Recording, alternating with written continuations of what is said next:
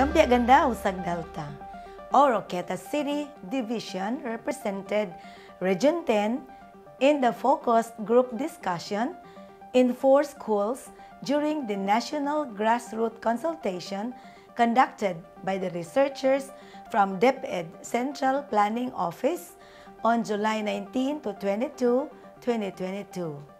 Data gathered from the consultation would be used by the Secretary General during the United Nations General Assembly in September 2022. The summit seeks to mobilize political ambition, action solutions, and solidarity to transform education to take stock of efforts to recover pandemic-related learning losses, to reimagine education systems for the world of today and tomorrow, and to revitalize national and global efforts to achieve the Sustainable Development Goals number 4 on quality education.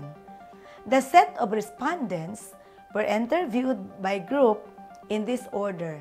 Five learners, followed by five parents, then five community members, then the five teachers, and finally, the five school heads through question and answer storytelling approach by the participating schools to wit Southeast Asian Institute of Technology on the first day, then Misamis Occidental Science and Technology High School on the second day, then Pine Central Elementary School on the third day, and the last on July 22 was in Apil Integrated School.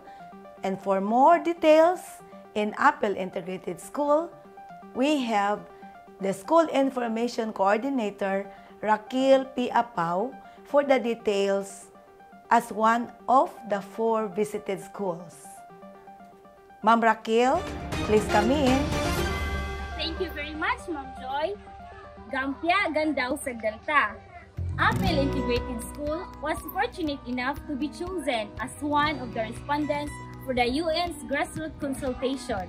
In July 22, 2022, DepEd Central Planning Office sent three researchers, namely Ma'am Vilin Delor, Sir Mark Ianan, and Ma'am Camille Angela Magbayaw to conduct the said focus group discussion. It involves our learners, teachers, school heads, community IP leaders, barangay council, school personnel, and our primary stakeholders. Wherein, everyone was asked on their own level of understanding on how they cope up with the recently experienced pandemic and how they handle the academic endeavor during those trying times. Back to you, Ma'am Joy. Thank you, Teacher Raquel Apau, with the school head, Mrs. Leticia J. Balaes of Apil Integrated School.